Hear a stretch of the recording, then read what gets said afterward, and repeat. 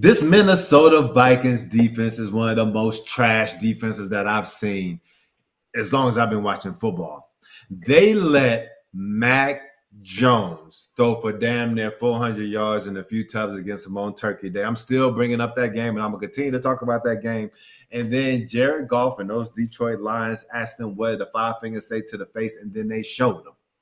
And so, as long as you have a Minnesota Vikings defense playing like that, I have no trust, no faith in them. And even though they want to go ahead and secure the NFC North title, and they may this week, I have full confidence that Matt Ryan and that Colts offense is going to be able to put up enough points for us to cruise over 47 in the points, 47 points comfortably.